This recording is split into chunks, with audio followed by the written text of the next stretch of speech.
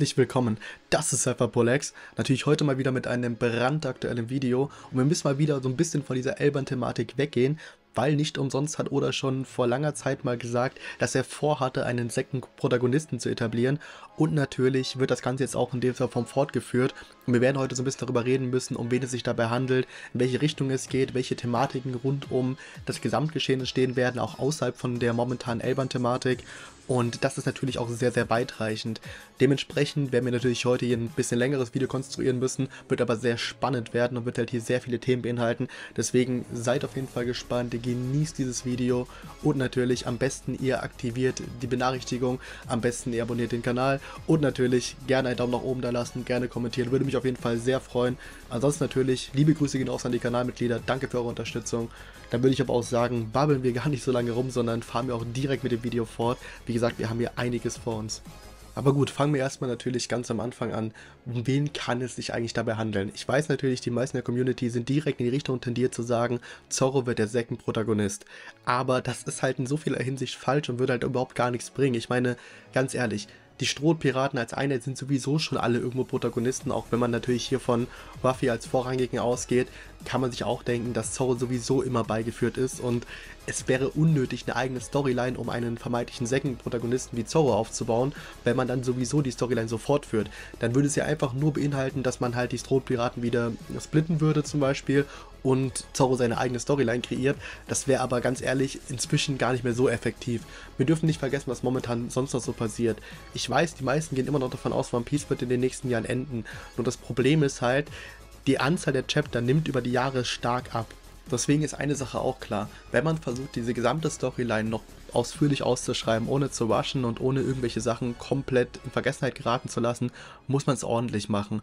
Und diese Möglichkeit mit dem Second-Protagonisten ist zwar irgendwo vom Klangbild her ganz cool, dient aber eigentlich wirklich nur dem Zweck, simultan noch eine andere Storyline zu kreieren, während sich die Ereignisse halt einfach so fortlaufen. Das heißt, wir werden öfter mal so On-Screen-Sachen haben, Off-Screen-Sachen haben und es wird auch die, auf die Strohpiraten hinauslaufen und währenddessen wird sich halt eine ganz andere Storyline abspielen.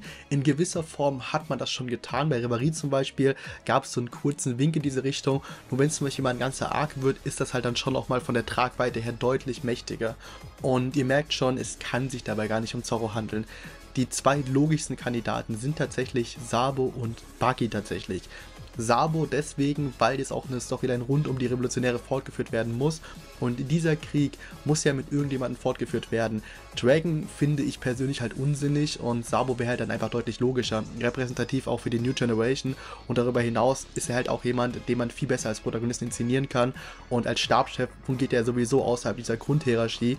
Deswegen wird sich die Revolution natürlich trotzdem weiterhin abspielen. Aber er wird halt trotzdem wenn man es rein unternehmenstechnisch betrachten würde, als Berater fungieren, der sich nicht wirklich an die Hierarchie halten muss und nicht wirklich in der Befehlsstruktur etabliert ist. Das ist tatsächlich die Aufgabe eines Stabschefs. Und dass er einen Stab trägt, ist natürlich einfach nur ein Stilmittel, was halt hinzugeführt wurde. Aber gut, so oder so wäre es halt dann zum Beispiel logisch dazu sagen, dass er halt dann irgendwann sozusagen den Kreis schließen kann. Sein Endziel momentan dürfte es ja sein, Ruffy darüber zu informieren, was Cobra gesagt hat. Es ist ein wichtiger Aspekt und er könnte halt dann Vivi erstmal wieder auf die Bildfläche bringen, er könnte Ruffy da wieder zurückholen und Vivi ist halt auch so ein weiterer Bestandteil dessen, was man sich hier aufbauen könnte. Wir dürfen nicht vergessen, auch wenn sie jetzt momentan vermeintlich nicht mehr ganz so viel priorisiert wird, sie ist unglaublich wichtig. Ich meine, wenn Imo-Sama, der unscheinbarste, mächtigste und trotzdem irgendwie spektakulärste Charakter gerade ein Bild von ihr hält oder generell ein Bild von ihr gehalten hat, im Zuge, dass er auch ein Bild von eben Blackbeard hatte und von Ruffy hatte, sollte es halt schon aussagen, wie wichtig WW ist. Und das nicht nur aufgrund dessen, dass sie halt jetzt momentan als Monarchin von Alabasta fungiert, sondern einfach nur aufgrund dessen, wer oder was sie eigentlich ist. Und ja, ich will da auf was Bestimmtes hinaus. Es geht wieder die Richtung, dass wir hier nicht vergessen dürfen, wer oder was Imusama eigentlich ist. Imo-sama ist halt immer noch Imo aus der Nerona-Familie, aber er ist auch Queen Lily. Ich weiß, für viele von euch da draußen ist das jetzt verwirrend, aber es ist halt einfach auch die logische Konsequenz dessen, was wir gemerkt haben. Er hat immer wieder von sich in der dritten Person gesprochen, von sich als Imo, aber er hat auch von sich in der dritten Person als Queen Lily sozusagen gesprochen. Und die Erwähnung von Lily hat ihn so hart getriggert, das kann nicht nur einfach etwas gewesen sein, was schon tausend Jahre her ist, sondern das muss halt wirklich effektiv was in ihm ausgelöst haben. Er hat auch davon geredet, dass Lily wohl riesige Fehler begangen hat. Er wusste davon, dass Lily wohl mit Toki zusammengearbeitet hat, um die Poneglyphe zu zu verbreiten. Er hat aber nichts dagegen tun können, hat es halt einfach nur im Nachhinein als Fehler ausgelegt. Nach dem Motto, das ist schon geschehen, ich hätte es niemals ändern können, weil in dem Moment wahrscheinlich sogar Lily die Kontrolle über den Körper hatte. Wir dürfen auch nicht vergessen, diese grazile Statur und dieses gesamte Bild, was wir von ihm bekommen haben, passt halt effektiv genau in diese Richtung. Damals haben wir auch gesehen, dass dieses Schwert im Raum der Blumen platziert war und natürlich 19 Schwerter wurden platziert, um halt den Thronanspruch sozusagen abzugeben. Dann die Nefeltaris haben sich dagegen erwehrt und zufälligerweise befand sich genau dort ein Schwert und zufälligerweise hält sich Imo primär dort auf. Es gibt immer noch eine gewisse Verbindung zwischen diesen beiden Persönlichkeiten und es ist auch logisch, dass man sagen kann, man erhöht Imo nicht nur im Schatten aufgrund des Stilmittels, aufgrund dessen, dass man ihn verbergen will, wie das bei den Gorosei auch parallel getan hat, sondern es geht halt auch noch so ein bisschen weiter. Ich kann mir gut vorstellen, dass es in die Richtung geht, dass er halt diese Krankheit in sich trägt, die ich schon öfter mal in Videos angesprochen hatte. Dieselbe Krankheit, die natürlich auch Bonnie und ihre Mutter befallen hatte und das ist genau dieses Beispiel, was ich immer wieder versuche euch nahezubringen und euch zu erklären. Teufelsfrüchte sind wieder natürlich. Wir reden auch von einer Göttin des Meeres. Wir reden von einem komplett natürlichen Aspekt. Und Teufelsfrüchte sind entgegen der Natur. Bedeutet, alles ist irgendwo dann gegen diesen Organismus gerichtet. Stellt euch diesen Planeten einfach als Organismus vor und Teufelsfrüchte und alles, was nicht aufgrund von natürlichen Mitteln in diese Welt gekommen ist, verhält sich wie eine Art von Virus. Es ist wirklich ein direkter Einfluss auf die Natur. Deswegen erhöht sich natürlich auch der Meeresspiegel. Deswegen ist die Schwäche von Teufelsfruchtnutzern auch Meerwasser und diese Krankheit verhält sich ähnlich. Saturn hat damals versucht, Modifikationen im synthetischen Bereich an Bonnys Mutter irgendwo umzusetzen, um halt eine künstliche Nika-Frucht zu kreieren. Das Ganze hat zu dieser Krankheit geführt. Und Bonnie hat diese Krankheit natürlich auch befallen. Nur Vegapunk mit einem halben Jahr Zeit und extrem vielen Mitteln hat es geschafft, bei einem Kind diese Krankheit gerade so zu kompensieren. Und bei Imo-Sama dürfte es schon viel weiter fortgeschritten sein. Das heißt, es gibt keine Möglichkeit, das Ganze irgendwie auszukurieren. Es sei denn, er wartet. Und ich kann mir auch vorstellen, er ist zwar irgendwo unsterblich und irgendwo hält er auch diese Gestalt aufrecht, aber diese Ruhephasen zum Beispiel sind halt auch ein Bestandteil dessen. Und ja, ich spreche von Ruhephasen, weil es für mich keinen Sinn macht, dass man den leeren Thron von Pangea einfach nur aufrecht gehalten hat, um es halt der Bevölkerung zu suggerieren, dass man immer noch in einer parlamentarischen Monarchie ist. Stattdessen war es schon längst eine Diktatur. Aber warum sollte man das tun? Warum sollte man diesen leeren Thron aufrechterhalten, wenn man halt einfach die Mittel hätte, die Macht zu ergreifen? Wer hätte sich entgegenstellen können? Und der einzige Grund dafür, der Sinn ergibt, ist tatsächlich, dass Imosama sich immer wieder zurückziehen musste, um sich vielleicht auszukurieren und vielleicht sogar gewartet hat, bis die Reinkarnation von Queen Lily irgendwann auftritt. Und diese Reinkarnation ist Vivi. Effektiv hat oder auch schon mal bestätigt, einer der Strohpiraten wird sterben. Ich weiß natürlich, es gibt viele Gerüchte, ob das Fake oder Real ist, aber wenn man einfach mal davon ausgeht, dass es Real ist, ist wenn nicht, kann man immer noch in die Richtung tendieren. Vivi ist indirekt ein Mitglied der Strohpiraten und dass Vivi zum Beispiel in Bredouille gerät, macht durchaus Sinn. Wir dürfen nicht vergessen, viele Ereignisse, die jetzt auch im Nachhinein stattfinden und die jetzt auch nach und nach jetzt aufgebaut werden, werden darauf hinauslaufen, dass Waffi schwere Entscheidungen zu treffen hat. Ihm wurde auch durch Alons Cousine faktisch klar bestätigt, dass er für die Zerstörung der Fischmenscheninsel verantwortlich sein wird. Bedeutet auch in dieser Konsequenz werden irgendwelche Ereignisse dazu führen, dass Ruffy keine Wahl hat. Er zerstört zum Beispiel die Redline und das wiederum zerstört dann die Fischmenscheninsel und in dieser Konsequenz würde es halt auch im Gesamtbild her Sinn machen. Und es würde auch in diese Richtung gehen, dass man sagen kann, ja, indirekt wäre er dafür verantwortlich gewesen und ja, es würde dann theoretisch die Prophezeiung erfüllen. Es wäre zwar nicht unbedingt sein Wunsch gewesen, dennoch würde es halt passen.